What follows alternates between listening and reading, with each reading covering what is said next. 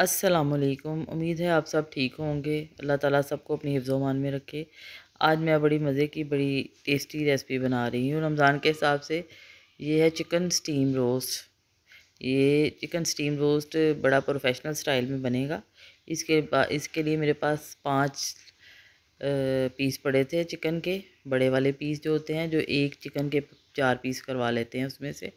और मैं उनको अच्छे तरीके से कट्स लगा दूँगी अंदर तक ताकि हर चीज़ जो मसाले हैं वो उसके अंदर रच बच जाएँ। अब ये देखिए मैंने कट लगा के रख लिया है चिकन मेरा।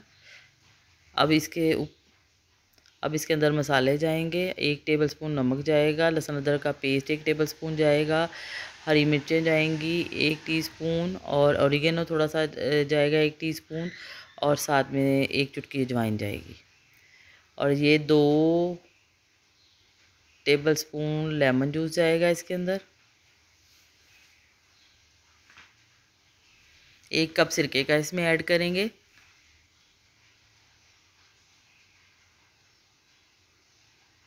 और एक कप ही दही का इसमें शामिल कर लेंगे।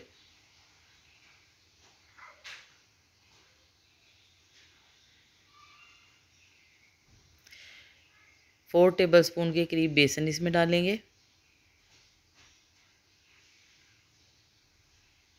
अब पीसी लाल मिर्च सूखा धनिया पाउडर, ज़ीरा पाउडर और दादर, लाल मिर्च, ये सब एक एक टीस्पून जाएँगे और काली मिर्च हाफ़ टी स्पून जाएगी और थोड़ा सा गर चाट मसाला एक टीस्पून जाएगा। ये सारे मसाले भी इसके अंदर ऐड कर देंगे और इसको बहुत अच्छे तरीके से मिक्स करेंगे कि इसका बड़ा अच्छा सा पेस्ट बन जाए और जो दही है, इसके लम्ब ना रहे इसके अंदर। बड़ा फाइन सा, थिक सा ये पेस्ट बन जाएगा। इस तरीके से इसको मिक्स कर लें। अब ये देखें कितना अच्छा पेस्ट इसका बन गया है। अब इसमें एक चुटकी ज़रदा रंग डाल दिया है ताकि इसका कलर बड़ा अच्छा सा फाइन सा आ जाए चिकन के ऊपर। इस तरीके से इसको मिक्स कर लेना है और इसको चिकन के ऊपर मैरी, लगा देना है मैरिनेशन के लिए। और चिकन कम अज़ कम कम अज़ कम भी तीन, चार से पाँच घंटे के लिए इसको मैरिनेट करें। मैंने एक रात को लगा दिया था और दूसरे दिन मैंने बनाया है इसको। इस तरह मैरिनेशन करने से ये होता है कि इसके सारे जो स्पाइसेस हैं, वो इसके अंदर अच्छे तरीके से हो एब्जॉर्ब हो जाते हैं और इसका बहुत अच्छा सा टेस्ट देते हैं। इस तरीके से इसको मैरिनेट कर लेना है।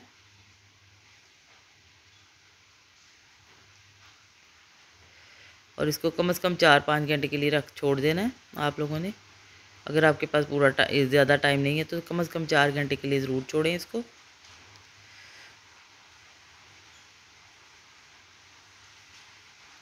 अब ये गाढ़ा सा पेस्ट जो है, वो इसके ऊपर डाल दिया है, वो जो पीछे हमारे बाउल में लगा हुआ था, उसको भी बड़े अच्छे तरीके से चम्मच से उतार के इसके ऊपर इसकी बड़ी अच्छी सी लेयर बना देनी है, इस तरीके से। और अब इसको रख दिए अब चार पाँच घंटे हो, अब मतलब इसको बनाने के लिए ये मैरिनेट हो चुका है। इसके लिए मैंने चार टेबल स्पून कुकिंग ऑयल के लिए हैं और चार से पाँच कड़ी पत्ते फ्रेश वाले ले लिए हैं। अब इसके अंदर जो ज़ीरा होता है, साबुत वो डाला है।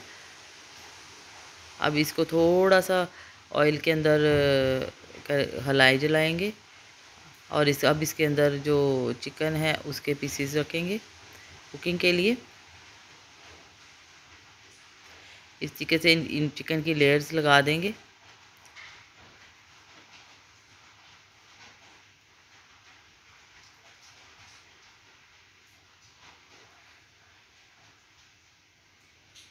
अब जो मसाला इसके अंदर नीचे रह गया है बर्तन में वो इसके ऊपर इस इसके ऊपर इसको थिक सा फैला देंगे सारी हर साइड पे। और एक दो कतरे पानी के शामिल करके वो इसके ऊपर डाल देंगे बिल्कुल थोड़ा सा। अब इसको स्टीम पे रख देंगे। मीडियम फ्लेम पे।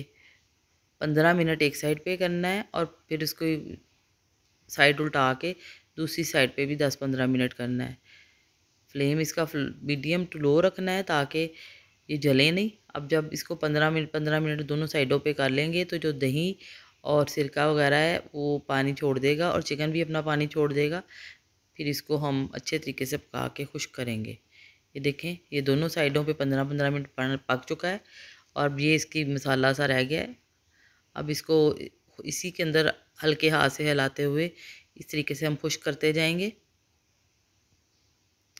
ताकि ये अच्छे तरीके से मुकम्मल तौर पे खुश्क हो जाए और नीचे भी ना लगे। ये ध्यान रखना है कि इस लेवल पे आके कई दफ़ा चिकन नीचे लग जाता है, इसको नीचे नहीं लगने देना आप लोगों ने। बड़े तरीके से इसको ट्राई करना है इस तरीके से।